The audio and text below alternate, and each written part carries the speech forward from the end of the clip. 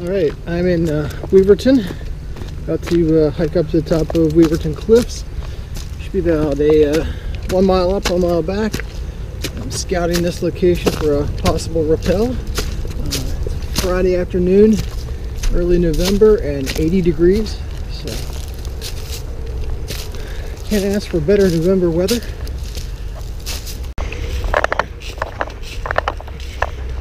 I'm expecting this to be pretty much one mile of uphill, get to the top of the cliff, and then uh, one mile downhill back to the car. All right, I'm uh, nearing the top. We'll see if this is going to be uh, rappellable or not. So far, uh, a couple rock falls like this, but not a, uh, a cliff. This is uh, facing west, so this is not, hopefully not going to be the, the cliff. We will see where we go. Two trail diverge in the wood. One goes to the cliff and one goes to the Appalachian Trail. Going to take the, the cliff one. When I was doing my research on Weverton Cliff, I found a lot of pictures online from the various panoramas looking out from the top of the cliff down onto the river. There were very, very few photos of what the cliff face looked like. There is some beta on it in, in some of the climbing websites, but it's pretty sparse. Um, so I went around on the right side of the cliff and kind of scrambled down uh, a lot of loose rock into the scree field uh, to take a look at the bottom. Okay, so this is the bottom of uh, Weverton Cliff. Uh, probably the most clear section to climb or rappel.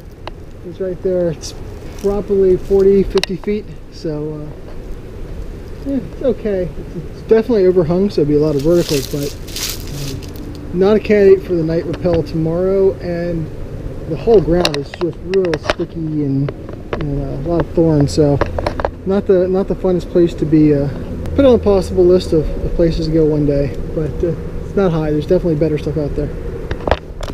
All right, gonna call it a day. We got some uh, some storms coming in from the west, and uh, gonna do a hike back down the mountain.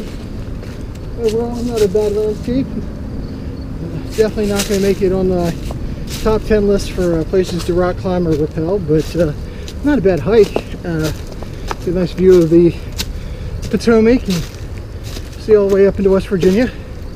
Uh, had a fair number of eagles soaring around over and above us. Um, not not worth the down climb. The uh, the bottom is super rocky and it's steep enough that even the big rocks will slide if you stand on them. So just real hard to get footing down there. And then there's really no reason to be down there. So stay on the top, enjoy the pretty view, and keep hiking. Sign off.